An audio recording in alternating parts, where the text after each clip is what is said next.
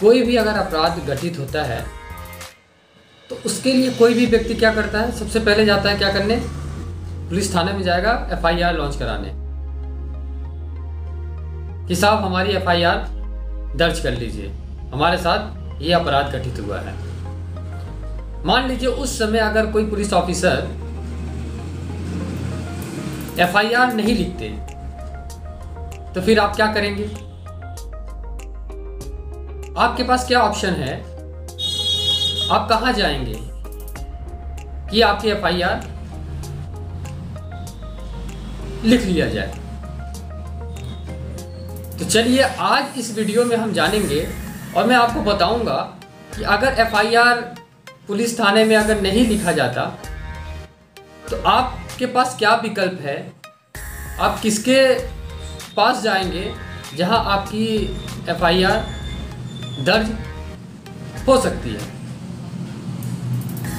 चलिए, मैं शुरू करता हूँ इस वीडियो को और मैं आपका दोस्त योगेश कुमार शाह एडवोकेट और आप जुड़ चुके हैं आर वाई लॉ फार्म के साथ, एक ऐसे लीगल प्लेटफॉर्म पे जहाँ आपको हर तरह की लीगल संबंधित जानकारियाँ इस वीडियो, इस प्लेटफॉर्म के ज़रिए उपलब्ध कराई जाती है। इसलिए चैनल को सब्सक्राइब कर लें ताकि आपको लीगल संबंधित जानकारियाँ समय समय पर उपलब्ध होते रहें।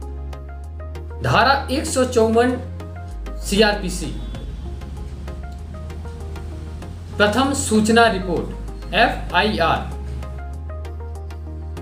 किसी भी संज्ञा अपराध के विषय में सबसे पहले एफआईआर दर्ज कराना बहुत ज़रूरी है। और एफआईआर ही एक ऐसा इम्पोर्टेंट रोल प्ले करता है, जहाँ आपको अपराध आपके साथ अगर घटित हुई है तो उसमें एफआईआर जब तक नहीं होगा, तब तक आपके साथ आपको न्याय नहीं मिल सकता।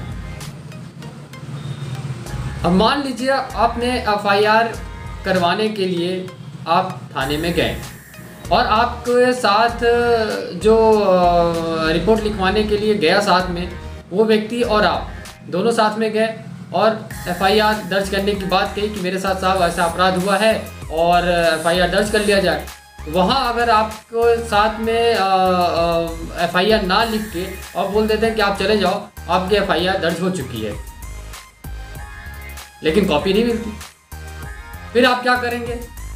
तो आपके पास एक ऐसा विकल्प है जो धारा एक सौ चौवन तीन कहता है कि आप उनके सुप्रियर, यानी जिस पुलिस थाने में आपने एफआईआर लॉन्च करने की बात कही जो आपका संबंधित थाना लगता है उनके अगेंस्ट में और उनके सुप्रियर यानी एसपी ऑफिसर जो होते हैं ऐसे उनके पास आप जाके अपनी आ, सूचना का समरी बना के बाई पोस्ट या बाई स्वयं ठीक है? बाई सेल्फ आप जाके वहाँ उनको सारा समरी बताइए अपनी सूचना के बारे में बताइए लिखित में उनको एक आवेदन दीजिए और उनसे रिक्वेस्ट कीजिए कि साहब ऐसे ऐसी घटित हुई है हमारे साथ अपराध और एफआईआर लॉन्च कराया जाए।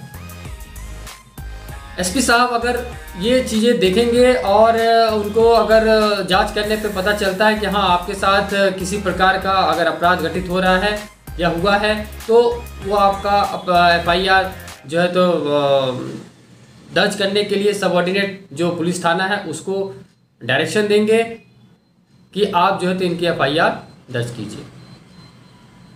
ये आपके पास एक विकल्प है। और भी अगर हम कुछ बात करें एफआईआर के बारे में तो एफआईआर अगर महिला संबंधित अगर कोई अपराध है तो वो सिर्फ़ और सिर्फ़ महिला ही अधिकार जो वहाँ पे ऑफिसर होंगी, वही उनका रिपोर्ट दर्ज करेंगे। जहाँ तक हो सके। अगर नहीं है तो नॉर्मल जो वहाँ पे चार्ज में होंगे, वो एफ़ आई आर दर्ज कराएँगे, कोई भी मेल ऑफिसर और अगर एफ़ आई आर के बारे में थोड़ा और हम जानकारी अगर इसमें बात करें इस वीडियो में तो एफ़ आई आर अगर किसी महिला जो है उसके साथ अगर रेप का अगर अपराध होता है या सेक्सुअल हरासमेंट का अपराध होता है या एसिड अटैक का मामला होता है या ह्यूमन ट्रैफिकिंग का मामला होता है या वुमन मोडेस्ट्री का मामला होता है, उस कंडीशन में अगर कोई महिला अपनी एफआईआर दर्ज कराने के लिए गई और उसकी एफआईआर नहीं लिखी गई तो ये एक दो हज़ार तेरह में संशोधन हुआ था तो उसमें धारा एक सौ छाछठ ए आई कहती है कि पब्लिक सर्वेंट का एक ड्यूटी होता है कि उनकी जो एफआईआर लॉन्च करे वो, ऐसे संबंधित अपराधों में।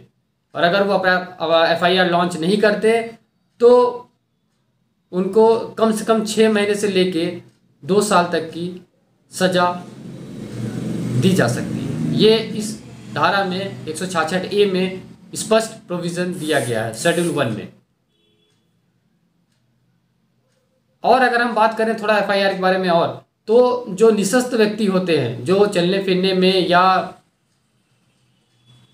थोड़ा सा मेंटली जो कमज़ोर होते हैं, वो अगर अपना एफआईआर लॉन्च कराना चाहते हैं, उनके साथ कोई अपराध होता है और वो अपना एफआईआर दर्ज कराना चाहते हैं तो वो एक रिक्वेस्ट कर सकते हैं कि जो पुलिस ऑफिसर हैं, वो उनके घर पे आके, निवास स्थान पे आके, या वो उनके मन चाहे किसी भी स्थान पे आके उनका जो रिपोर्ट है वो दर्ज कर लें। तो आज इस वीडियो में हमने जाना कि कब एफआईआर अगर आपकी एफआईआर अगर आपके साथ अपराध होता है और एफआईआर अगर दर्ज नहीं होता है तो आपको कहाँ जाना है और कैसे आपके एफआईआर दर्ज हो सकेगी। तो चलिए वीडियो को यहीं क्लोज करते हैं। और आगे भी इस वीडियो को ज़्यादा ज़्यादा शेयर करें और लाइक करें, कमेंट करें और किसी प्रकार का कोई अगर आपको समस्या हो तो मुझे पर्सनली आप वीडियो में दिए गए नंबर पे, डिस्क्रिप्शन में दिए गए नंबर पे आप पर्सनल अपॉइंटमेंट कर सकते हैं आप। Thank you.